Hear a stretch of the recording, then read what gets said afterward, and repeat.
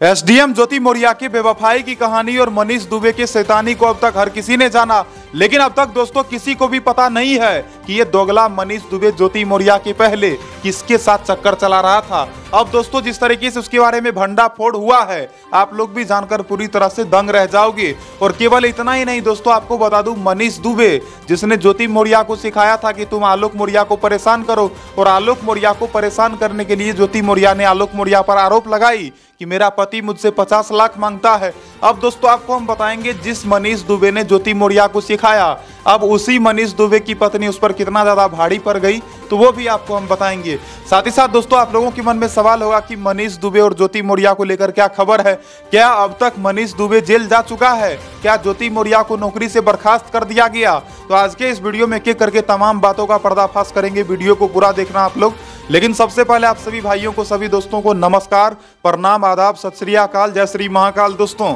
और इस वीडियो को देखने वाले सभी भाइयों और सभी बहनों को दिल से सलाम। चलो दोस्तों, हर रोज की तरह आज भी सच का पर्दाफाश करते हैं और आपको हम बताते हैं वो पुराना वाला कांड क्या है। दोस्तों, बताया जाता है ये घटना है साल 2018 और 19 के बीच की। जब बताया जाता है मनीष दुबे यूपी के अमरोहा में तैनात था, वहाँ पर बताया जाता है दोस्तों, एक महिला होमगार्ड थी जिसको ये बहुत ज़्यादा परेशान करता था। ये बताया जाता है कि मनीष दुबे उस महिला होमगार्ड से कहता कि, रात को तुम मेरे रूम में आना, रात को तुम मेरे आवास पर आना। और आपको बता दो दोस्तों, उस महिला होमगार्ड को ये बहुत ज़्यादा परेशान किया करता था। हालाँकि मैंने इसका चर्चा पहले भी करा था, कल भी मैंने आप लोगों को बताया था इस मामले में मनीष दुबे को दोषी करार दिया गया था। लेकिन दोस्तों, उस दिन मैंने आपको ये नहीं बताया था उस वीडियो में कि मनीष दुबे उसके साथ करता क्या क्या था। आपको बता दूँ, मनीष दुबे उस महिला होमगार्ड से कहता कि रात को यदि तुम हमारे आवास पर नहीं आओगी तो हम तुम्हारा ड्यूटी लगाना बंद कर देंगे, तुम्हारा जीना हराम कर देंगे। और ना जाने ये क्या क्या करता था। तो आपको बता दो दोस्तों, साल 2018-19 के बीच में ये घटना होती है, और उसी वक्त बताया जाता है वो महिला होमगार्ड भी मनीष दुबे के खिलाफ शिकायत दर्ज करवाती है। लेकिन आपको बता दो दोस्तों, साल 2018-19 में जब वो महिला होमगार्ड शिकायत करती है तो उसके शिकायत पर कोई भी ध्यान नहीं देता। आपको बता दो, उस केस को पेंडिंग में डाल दिया जाता है। आप सोच सकते हो दोस्तों, जब इस दुष्ट के ऊपर साल 2018-19 के बीच में ही कार्रवाई करा जाता। तो क्या इस दुष्ट का चक्कर साल 2020 में ज्योति मौर्या के साथ चलता? आपको बता दूँ, कहीं न कहीं कानून भी इसे माफ़ कर दिया। आप सोच सकते हो दोस्तों, ये जो कि खुद ही एक पुलिसकर्मी था और इसका जब शिकायत करा गया एक महिला होमगार्ड के द्वारा, वो भी साल 2018 से उन्नीस के बीच में ही तो उस वक्त क्यों नहीं इसके खिलाफ एक्शन लिया गया? उस वक्त एक्शन नहीं लिया गया, इसीलिए इसका मन बढ़ गया। इसको ये लगा कि हम अगर एक महिला के साथ छेड़खानी कर सकते हैं तो हम तो किसी भी महिला के साथ छेड़खानी कर सकते हैं।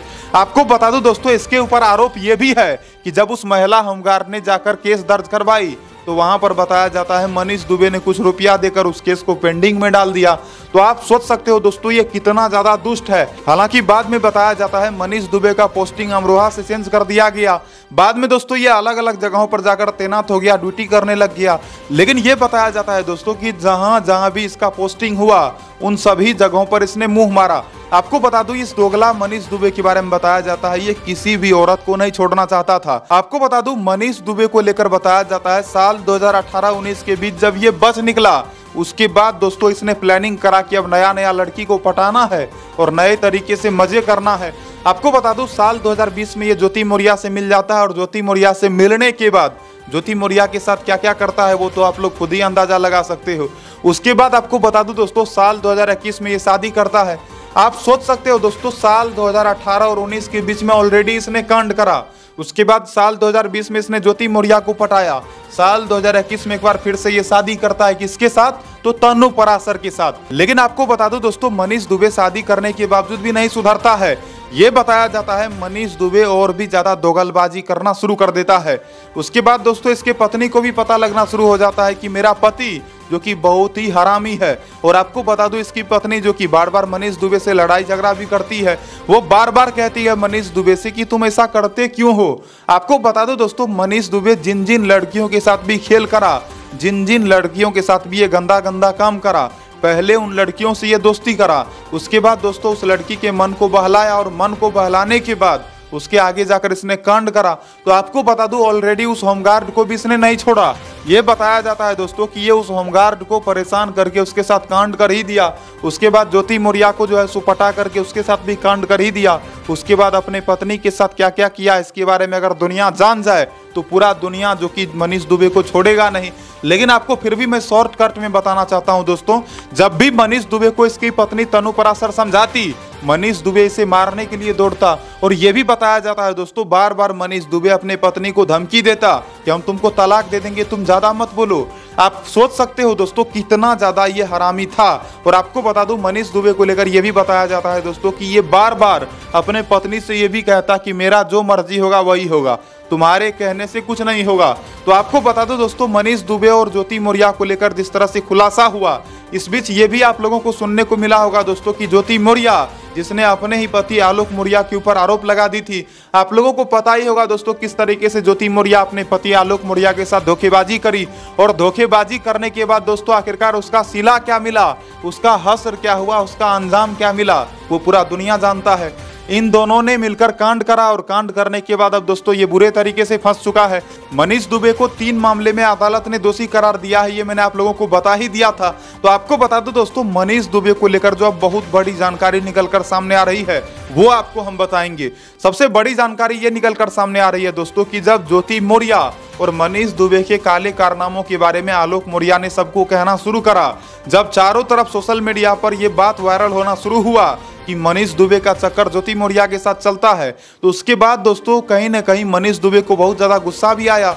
और आपको बता दूँ, मनीष दुबे जो कि आलोक मौर्या को अपने निशाने पर ले लिया, ये भी बताया जाता है दोस्तों, मनीष दुबे का अगर बस चलता तो वो तुरंत ही आलोक मौर्या को खत्म कर देता।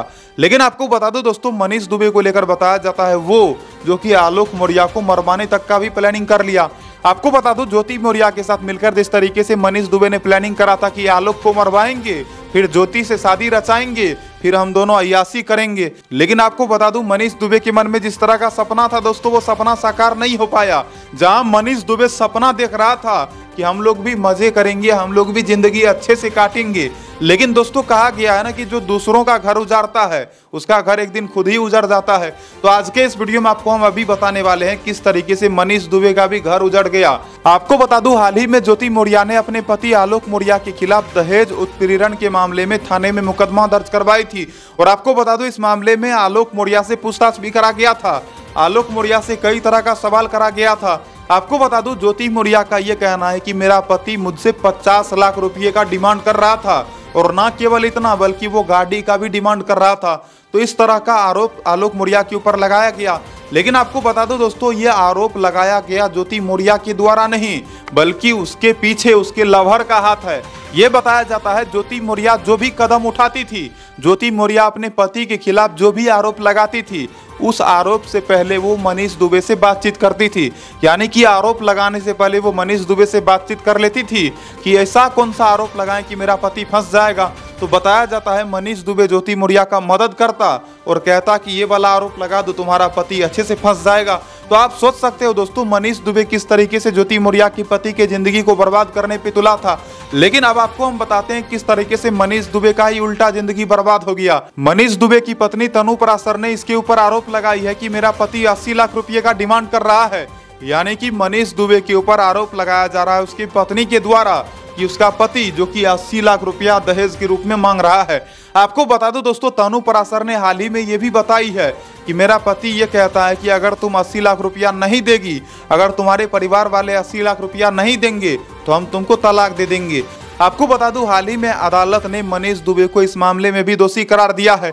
आपको बता दूँ, तनु परासर ने मनीष दुबे के ऊपर आरोप लगाई कि मेरा पति मेरे साथ फ्रॉड करता है, झूठ बोलता है, मेरे से दहेज मांग रहा है, मुझे बहुत ज़्यादा प्रताड़ित कर रहा है और ज़बरदस्ती मुझे कह रहा है कि मैं तुम्हें तलाक दे दूँगा। तो इस तरह की बातें निकल कर सामने आ रही है।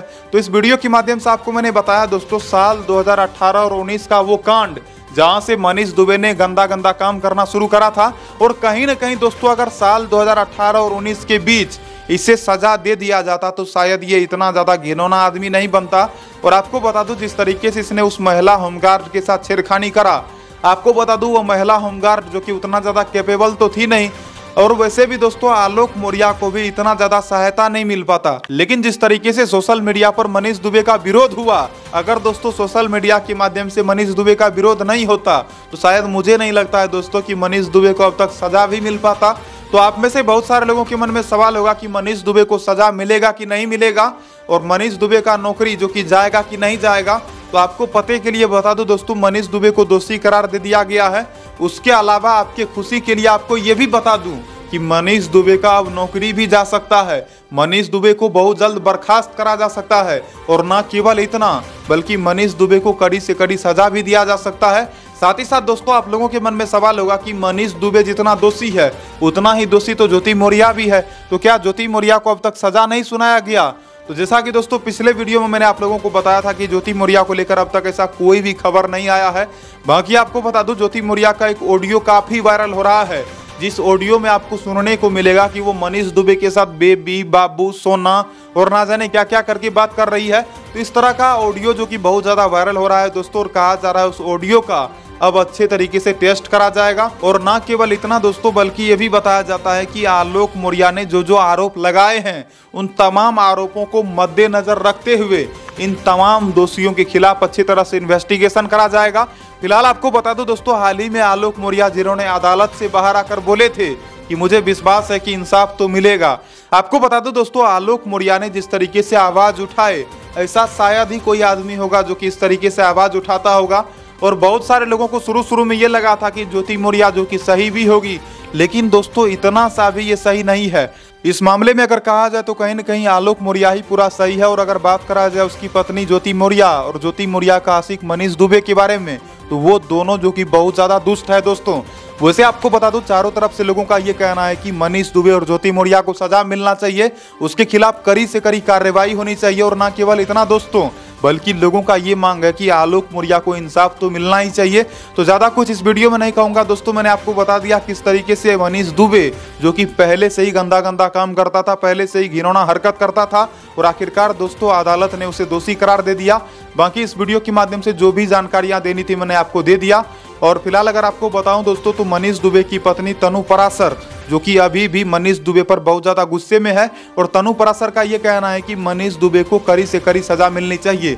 बाकी दोस्तों, इस मामले में आपका क्या कहना है? कमेंट सेक्शन में लिख के बताना। बाकी अपना ध्यान रखना, अपने परिवार वालों का ध्यान रखना। कभी भी गलत काम नहीं करना अच्छा काम करना अच्छा रास्ता चुनना। जय हिंद दोस्तों, मिलता हूँ अगले नई वीडियो में नई खबर के साथ।